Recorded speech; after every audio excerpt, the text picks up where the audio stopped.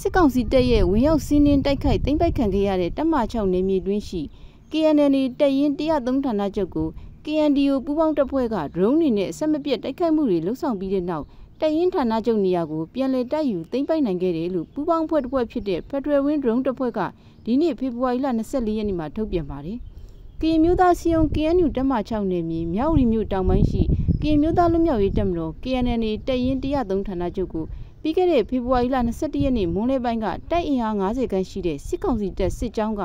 ဝေါ်လီဗျူဟာကုန်းကနေတဆင့်ဝင်ရောက်လာခဲ့ပြီးစီးနင်းမိရှို့ခဲ့တယ်လို့ထုတ်ပြန်ချက်မှာဖော်ပြထားပါတယ်။စစ်ကောင်စီတပ်ဟာ KNN 103တရင်ဌာနချုပ်ကိုဝင်ရောက်စီးနင်းနေရာယူပြီးတဲ့နောက်တော်ကူလီတက်မတော် KTLA ဗဟိုစစ်ဌာနချုပ်ရုံးဘက်ကိုလည်းလက်နက်ကြီးတွေနဲ့အဆက်မပြတ်ပစ်ခတ်တာတွေလှုံ့ဆော်နေပေမဲ့ထိခိုက်မှုမရှိဘူးလို့ KTLA ဗဟိုဌာနချုပ်ပြောရေးဆိုခွင့်ရှိသူကပြောဆိုထားပါတယ်။ စီးနင်းခံရတဲ့စကန်ကိုကရင်မျိုးသားကာကွယ်ရေးတပ်ဖွဲ့ KNDO လုံခြုံရေးတပ်ရင်းရှိတပ်ဖွဲ့နဲ့အထူးကွန်မန်ဒိုတပ်ရင်းဖထွယ်ဝင်းပူးပေါင်းတပ်ဖွဲ့တွေကဒုံတိုက်ခိုက်မှုတွေနဲ့အဆက်မပြတ်တိုက်ခိုက်မှုတွေလှုံ့ဆော်ခဲ့ပြီးတဲ့နောက်ဖေဖော်ဝါရီလ22ရက်နေ့နေ့လယ်12နာရီချိန်ကမှတပ်ရင်းဌာနချုပ်နေရာကိုပြန်လည်တိုက်ယူနိုင်ခဲ့တယ်လို့ထုတ်ပြန်ပါတယ်။စစ်ကောင်စီတပ်က KNL တပ်ရင်း103ဌာနချုပ်ကိုဝင်ရောက်စီးနင်းတိုက်ခိုက်သိမ်းပိုက်တဲ့ဖြစ်စဉ်မှာ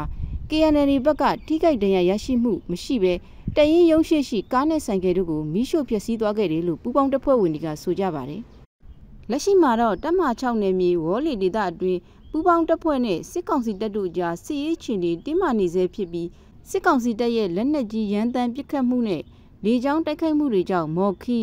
ဥကရစ်ခီထီကပလဲပနွဲ့ဖိုကလိုထီးသဲလေစတဲ့ကြေးရွာဆေရွာကဒေသခံတွေထွက်ပြေးနေရတယ်လို့သိရပါတယ်။